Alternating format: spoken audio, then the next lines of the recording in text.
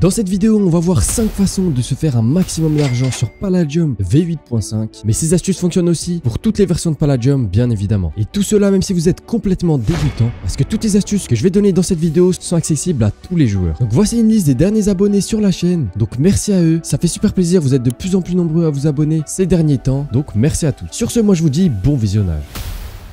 Comment se faire un maximum d'argent sur Palladium C'est la question que je me pose depuis quelques jours et je pense que j'ai enfin trouvé la réponse. C'est donc ce que je vais vous partager dans cette vidéo. Juste avant de commencer, je tiens à remercier Nat car c'est lui qui m'a donné une grosse partie des techniques que je vais vous donner dans cette vidéo. Sur ce, c'est parti, on commence par la première étape. Donc quand vous arrivez sur Palladium, vous êtes tout nu comme moi. La meilleure stratégie pour se faire un petit peu d'argent au début, c'est de up ses métiers. Par exemple, au niveau 5 mineur, on gagne 5000 dollars et honnêtement, ça se refuse pas quand on est pauvre. Pareil pour le métier de farmer, niveau 5, il y a encore 5000 dollars. Bon, moi je suis seulement niveau de 4 parce que je l'ai pas trop tryhard. Mais si vous tryhardez un peu tous les métiers jusqu'au level 5, ça vous fera déjà 20 000 dollars. 5000 x 4 pour ceux qui n'ont pas compris. Car tous les paliers du niveau 5, il y a 5000 dollars pour tous les métiers. Donc je pense que maintenant on peut directement passer à la deuxième étape. Donc maintenant vous avez un petit peu d'argent si vous avez suivi la première étape. Vous pouvez maintenant avoir un petit peu de stuff, notamment comme le stuff travel que j'ai sur moi. Et pas vous faire tuto comment le crafter, il y en a assez sur YouTube. Et vous êtes plus tout nu comme au début de votre aventure. Donc maintenant ce que vous pouvez désormais faire, c'est regarder un peu les quêtes qui viennent de sortir. Je pense notamment à ce PNJ sur le néolithe. Donc quand vous allez lui parler, il va vous renvoyer à plusieurs autres PNJ sur la map qui eux vont demander des ressources comme des graines, du cuir, des trucs comme ça. Par exemple, il y a celui-là, donc c'est Lorenzo, il demande 8 steaks crus. Donc vous pouvez parfaitement farmer la masse de steaks crus et les vendre assez cher au market et ça partira probablement dans tous les cas. Enfin ça c'est surtout quand la quête vient de sortir parce que là ça fait quelques jours que tout le monde à peu près a terminé la quête, du coup c'est plus très rentable de faire ça. Il faut faire ça sur les quêtes récentes et même si vous mettez un prix un petit peu trop cher sans faire exprès, forcément ça partira. En fait, faut se dire qu'il y a toujours des flemmards qui ont la flemme d'aller farmer des steaks ou des petites ressources comme ça et qui ont déjà pas mal d'argent. Donc ils vont pas hésiter à acheter même à un prix exorbitant si vous êtes le seul vendeur sur le marché. Attention que s'il y a d'autres vendeurs qui vendent beaucoup moins cher que vous, là ça partira jamais. Vous pouvez mettre un petit peu cher quand vous êtes dans les seuls, sinon ça marche pas, je vous déconseille. Et cette technique marche aussi avec les quêtes quotidiennes du Palapas. Vous voyez quêtes quotidiennes, donc c'est des quêtes qui changent tous les jours. Et que là il y a crafter 20 fake water, crafter 20 palladium ingot dans le grinder, une 1150 bûches de la jungle. Donc là ce que vous pouvez faire, c'est que vous pouvez vendre les items, crafter de la fake water, donc un water bucket et un palladium stick. Et vu que c'est des quêtes quotidiennes qui se réinitialisent tous les jours, ça vous pouvez le faire tous les jours, contrairement aux PNJ qui eux ne se réinitialisent pas tous les jours. Eux c'est plus dans des petites périodes qui arrivent de temps en temps. Mais voilà, là c'est à vous de faire l'analyse, analyser un peu ce que les gens pourraient vouloir et vendez en masse ces items là. Bref, maintenant on peut passer à la troisième étape. Donc cette étape est très rapide, mais elle est aussi primordiale. Donc maintenant que vous allez chercher les items qui se vendent de façon éphémère, vous allez chercher les items qui se vendront toujours. Donc ce que je veux dire par là, c'est par exemple les under chests. Il faut savoir que les gens sur Palladium, quand ils font un pillage, souvent ils oublient de prendre un under chest. Et vu qu'ils ont la flemme de crafter parce qu'il faut de l'obsidienne, bah généralement ils l'achètent au market tout simplement. Ou même quand ils font leur base, bref, les under chests, tout le monde en a besoin tout le temps. Donc ça c'est un item que vous pouvez mettre en vente en masse tous les jours. Vraiment, normalement ça partira. Il n'y a pas de souci avec ça. Il y en a, ils vendent ça 124 dollars unité et 19 PB. Donc je suis sûr que là-dedans il y a des habitués qui en vendent tous les jours en masse. Regardez, 91, il y a 91 under chest. Et c'est clairement uniquement pour les vendre. Là c'est pas possible autrement. 192, regardez. Après c'est pas le seul item comme ça. Moi je pense par exemple au cuir. Vu que quand on arrive sur Palladium, le cuir on en a direct besoin. Et comme il n'y a pas énormément de mobs dans les mondes factions, il y a beaucoup de nouveaux qui peuvent se dire qu'ils vont acheter le cuir au market à la place d'aller en farmer eux-mêmes. Perso, c'est ce que j'ai fait au tout début quand j'ai commencé par. Il y avait aucun mob qui spawnait, j'en ai acheté directement au market même si je me suis ruiné avec ça. Et vu que le cuir on en a besoin pour les stuff travel et pour littéralement le début sur Palladium, on en a vraiment absolument besoin. Ça aussi, vous pouvez le vendre en masse et à n'importe quel moment sur le serveur. Avec les gens, ils vendent ça 8 dollars unité, 12 dollars. En vrai, c'est cher hein. pour autant. C'est très simple à farmer quand t'as une looting 3 comme ce que j'ai sur moi. Maintenant que j'ai ça, j'ai plus besoin d'en acheter et je me fais du cuir très très rapidement. Mais j'avoue que pour les nouveaux qui n'ont pas de looting 3, c'est très très compliqué d'en avoir en masse. Après, faites attention de vous aligner avec les prix du shop. Vous voyez que là, c'est 100 dollars unité, un de cuir. Donc, euh, n'essayez pas de vendre vos cuirs 150 dollars, ça partira jamais. hein. Déjà qu'en plus, là, ça se vend à 12 dollars en ce moment. Mais ça peut quand même remonter un peu, mais ça remontera jamais au-dessus des prix du slash shop. Donc, maintenant, on peut passer à la quatrième étape. Donc, pour cette quatrième étape, on va passer au Lucky Drawer qui est sans doute le plus important dans la vidéo.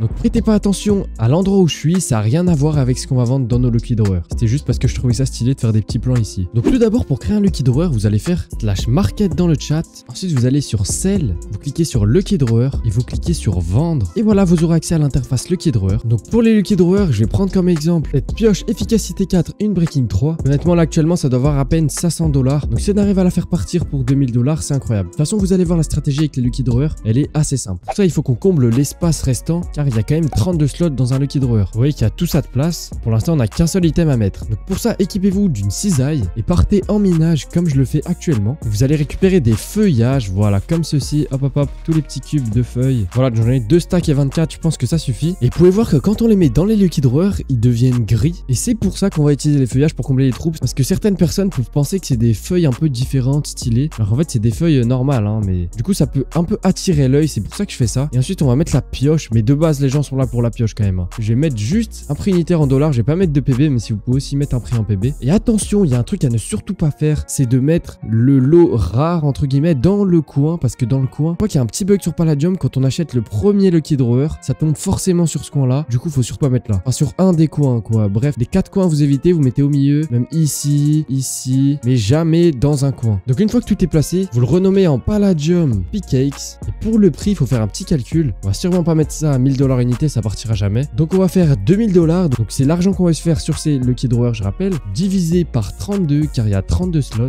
Et ça nous fait un total de 62,5. Et si vous voulez faire un petit peu plus pour arrondir à 70, honnêtement, ça partira largement. Hein. Donc si tous nos Lucky Drawers sont achetés, on se fera 2240. Donc étant donné qu'on vend seulement une FI4 U3 et des feuillages récupérés en 5 secondes en minage, c'est vraiment très rentable. Validé. Vous voyez que si on tape pas la Jump Pickaxe au market, on voit des mecs qui vendent 20 dollars, 60 dollars. Le mec de 20 dollars, il vend des trucs pourris, vraiment ça vaut pas le coup. Celui des 60 dollars, il vend FI3, donc c'est vraiment nul. Alors que moi, je suis juste après avec mes 70 dollars unité et je vends une FI4, une Breaking 3, ce qui est vraiment très intéressant pour les nouveaux joueurs. Donc ça peut permettre de générer beaucoup de ventes. Donc après, vous pouvez remplacer ça par des blocs de Palladium, du Findium ou même des épées, Sharpness 5, etc. pour le PVP. Ça peut être très intéressant ça aussi. Et pour finir, un Blue Unclaim Finder ou, un Unclaim rouge, à mon avis, ça peut intéresser les gens. Donc ça, c'est à vous de décider. Mais je pense que c'est la meilleure stratégie que je vous donne dans cette vidéo. Donc s'il y en a une que vous devez tryhard, c'est celle-ci. Sur ce, on peut passer à la cinquième étape. Donc pour la cinquième dernière étape, ça sera par rapport au pillage. Je pense qu'on a tous déjà fait des pillages sur Palladium. Mais quand on tombe sur une base remplie de stuff, avec beaucoup de trucs éclatés,